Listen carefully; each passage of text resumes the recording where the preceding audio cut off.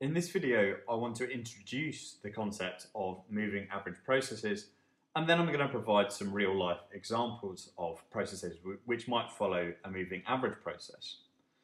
So mathematically, a moving average process is, let's say, xt is equal to some sort of disturbance term et plus some constant theta times et minus 1. So this xt here is what we're modelling. So this is our moving average process. And each of these given error terms is IID with a mean of zero and a variance of sigma squared. And we say that the process xt here is a moving average process of order 1. It's of order 1 because I've only got one lagged error term here in my process. A moving average of order 2 process would have also, as well as having the first lagged error, it would also have a term which had the second lagged error. Okay, so this is our first example of a time series process. What are some particular examples of MA1 processes? So the first example which I want to talk about might be the example whereby we were talking about the change in demand for lemonade at time t, where t here is, let's say we're talking about daily data. So we might say that the change in demand for lemonade was equal to some sort of error term et, or epsilon t, which I'm going to define in a minute, minus 0.5 times this epsilon in the last period. So what actually might represent this epsilon term here in the example of demand for lemonade? Well, epsilon here might actually represent the change in temperature. So we've got that epsilon t is equal to the change in temperature at time t. So if we have that the change in temperature at time t is greater than zero, we have that epsilon is greater than zero, which because of the way in which we've defined our process here, means that, well, assuming that the change in temperature in the last period was zero, that means that we're going to have that there's going to be an increase in demand for lemonade. So there's going to be delta lemonade at time t is going to be greater than zero. Okay, so that kind of makes sense. But what about this sort of minus term here, which is going to affect the, change, the demand for lemonade in the next period? Well, the idea is, let's say we assume that the change in temperature in the next period is actually zero. So there's no change in temperature in the next period. What's going to happen to the demand for lemonade? Well, this above model suggests that the change in lemonade demand at time t plus 1 is actually going to be equal to minus 0.5 times the change in lemonade demand at time t. So actually there's going to be a decrease in lemonade demand relative to yesterday.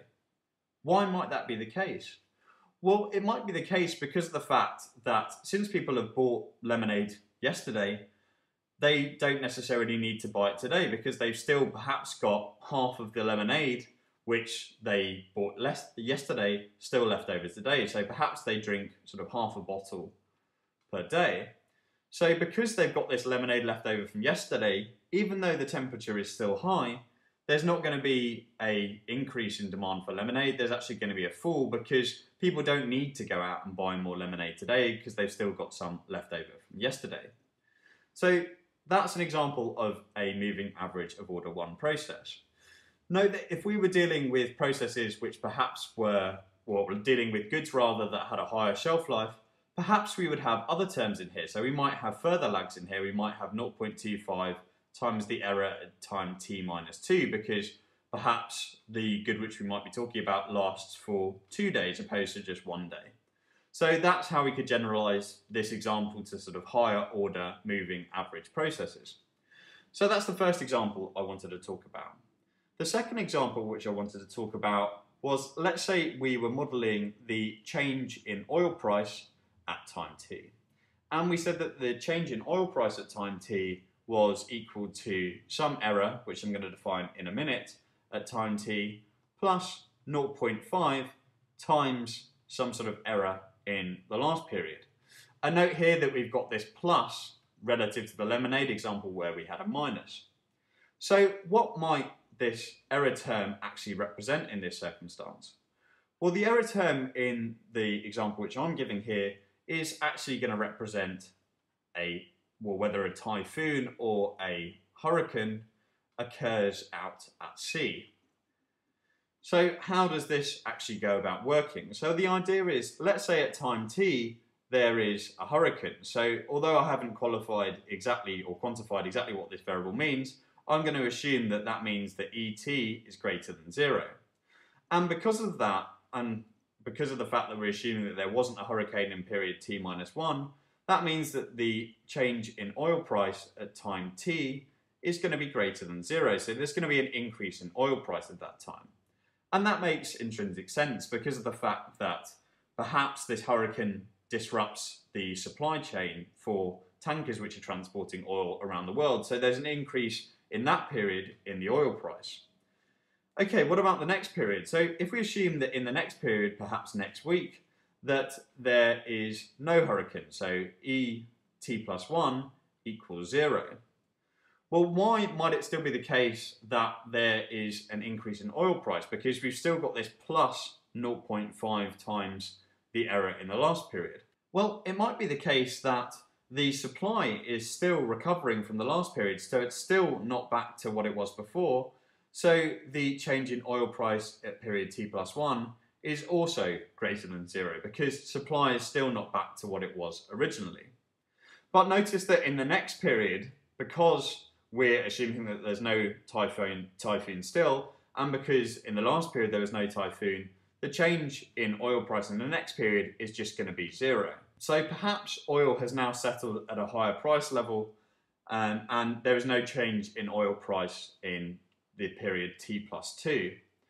So notice that in a moving average process, the effect of an error is to propagate in two periods. It's going to have an effect in the period in which it happens, and then it's going to have an effect in the period after that on our given process. So in the lemonade example, the effect of having an increase in temperature was to increase lemonade demand in that period, but to decrease it relative to what it was in the last period in the next period.